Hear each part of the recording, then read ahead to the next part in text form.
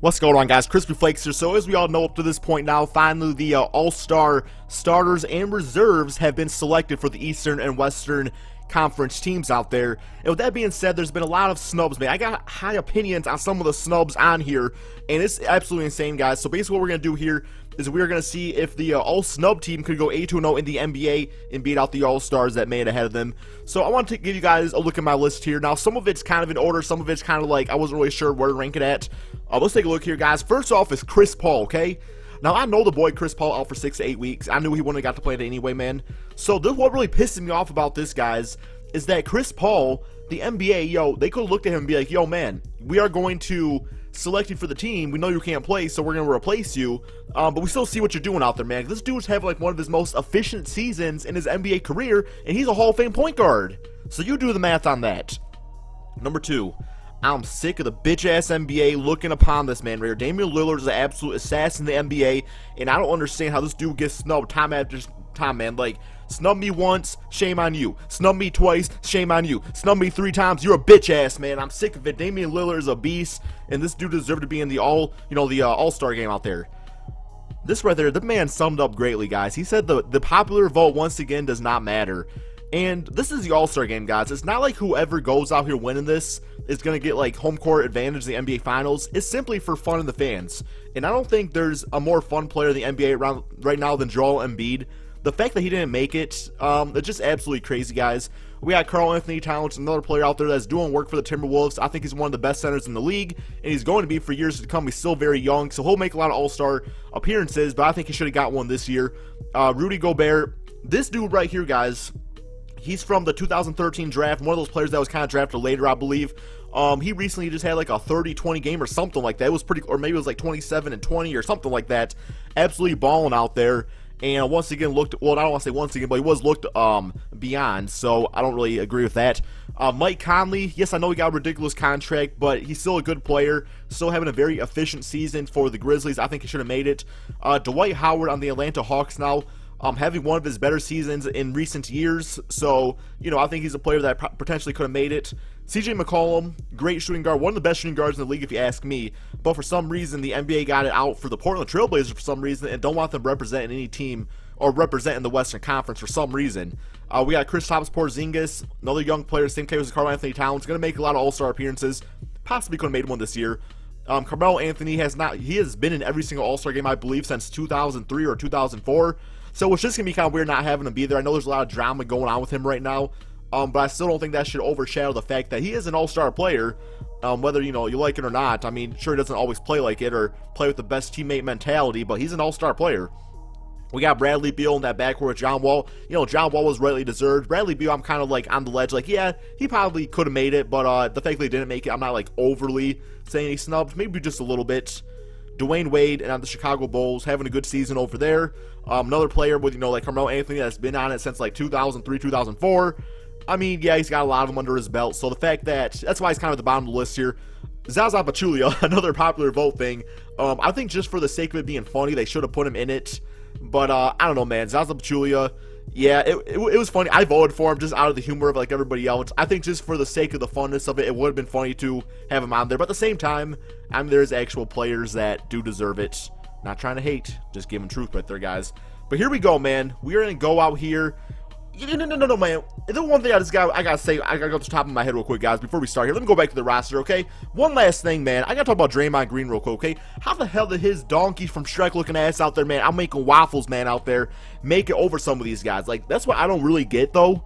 Um, because I do think about some of the plays I made, like, like, yo, like, what's his name? Uh, Gordy Hayward, yeah, he deserved to make it, but Draymond Green, he's the fourth option on the Warriors, and he just one more, man. One more. Okay, I'm sorry, Draymond. I'm sorry, man. Um, but I also gotta talk about Paul Millsap.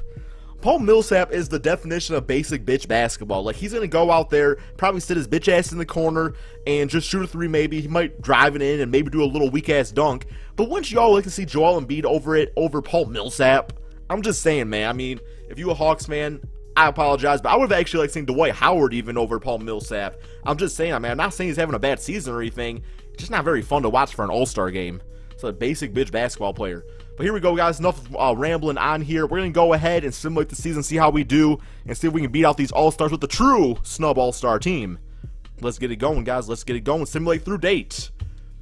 And uh, Ronnie 2K, I'm just saying, man, don't screw this team over, okay? I know you a hype beast over on the Warriors. You love your Warriors team. You, I'm sure you love an all. Wait, wait, wait. Before we talk, speaking of the Warriors, guys, God, I'm, you know, for the sake of the All Star game being exciting, I know they're gonna play all. I know Steve Kerr is gonna play all the Warriors together at one point, but please, man, please include Russell Westbrook in that lineup. That would be the most awkward yet funny situation ever, man. Can you imagine Stephen Curry, Klay Thompson, Kevin Durant, Draymond Green, and Russell Westbrook out there together? I mean, it, it would just it had like that awkward tension. I wonder if they would have fun with it. My guess is probably not, because they seem to have an attitude towards each other, especially Durant and Russell Westbrook. Um, but it would be really funny, guys. I don't think it's gonna happen. And that, honestly, my theory about about why Russell Westbrook isn't starting is because the NBA kind of wants, wants to keep that tension away and uh, keep Durant and Russell Westbrook from playing together. So that's actually my theory. Oh, goddamn Cleveland Cavaliers, man. Y'all freak out like a 17 game lose streak. I know it's not that bad, but you did they, they lose to the 76ers? Did y'all lose to the 76ers recently? I don't know, man. Um, I know LeBron James is pissed off these days. He's really he really wants to get some different players on his team. And, uh, you know, I can't get too mad about this because I don't think Kyrie, Kevin, or LeBron were any snubs out there. So uh, at least we didn't lose to a team that, you know, maybe a player shouldn't have made it, like a Paul Millsap. Although, once again, I'm just hating. I'm, I'm just being a hater right now, guys. Uh, he's a good player. But uh, I'm just saying, though, man. But damn, I mean, yeah, we the snubs out there. We the snubs. So, of course, they're going to snub us in the 82-0 challenge. I mean, it's kind of how it is these days. Beat the Golden State Warriors very nicely. But damn, I mean, once again, Ronnie, you are not an all-star, man. If I go out here getting one L again, like most of my 82-0 challenges, if you give me this one L, you was a freaking loser, man. You would no all-star. You was not even a snub, man. It's, I don't know, man. I don't know these days. Um, but also, guys, let me know in the comment section below. Um, what players do you think deserve to really make it? And let me know your case. Like, why do you think a certain player should have made it? Also, what player do you think really didn't deserve it? Because, in my opinion, I'd probably say Draymond Green. And it's not that he's a bad player. It's just that you know, this season he's not really an all-star. He's a fourth option on his team, and that's because he has a lot of really, really, good players ahead of him. Um, but it's not like he's doing crazy things out there. And the fact that he has a lot of trouble, you know, kicking people in the nuts and all that, that's not really an all-star thing. I'm just saying, man. I'm just saying. But we out here. By the way, guys, as y'all also saw too, I did not include a single one of my Detroit Pistons. I'm absolutely fed up with my team right now. Andre Drummond definitely not playing like an all-star this season. I think he made Cavaliers guys again. Damn. Oh my god, dude! Why is it the why's the Cavaliers got my number? Oh my god, the boy Melo out there too. He wants to be a Cavalier so bad. Probably tank the game. Probably like, yo, LeBron, I'll let you beat me out here. Um, you know, if you trade for Kevin Love, you know, if you can convince management, I know you got that kind of negotiation power. But dang, dude, I was. We gonna lose two games and be both of the Cleveland Cavaliers, guys. Come on, give me another L for somebody else at least so I can sleep better at night. No, that's not just the Cavaliers out here beating me up. It ain't gonna happen. We ain't gonna lose to the Pistons. We ain't gonna lose to the Mavericks, not the Bucks, and not the Lakers, and not the Pelicans. So, know the fucking Lakers got me. Oh my god, dude. I'm done, yo. Yo, Ronnie 2K is freaking cursing LD 2K. I know LD a big uh, Laker fan out there.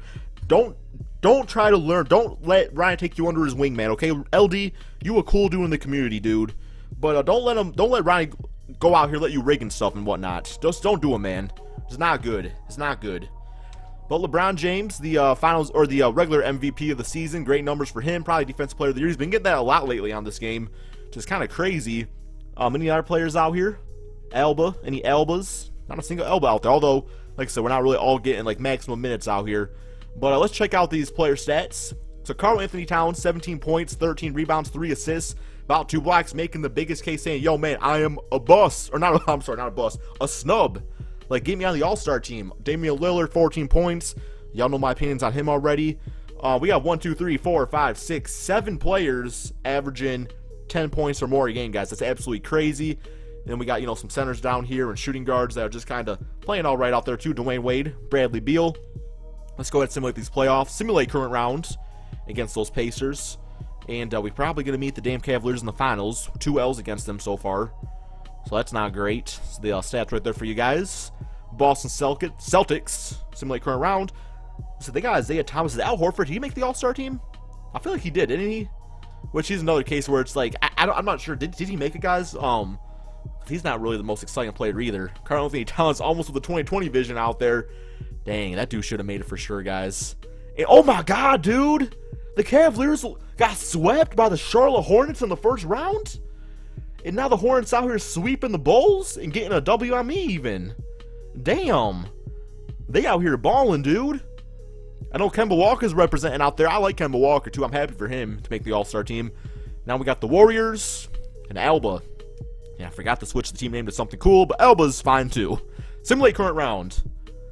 And we beat the Golden State Warriors in four games one. The snub team beat the four All-Stars out there, so I'm happy to see that. Karl-Anthony Towns, your finals MVP. Hope you guys all enjoyed this video. Everybody have a wonderful day, wonderful night. Whenever you're watching this video, please remember to subscribe.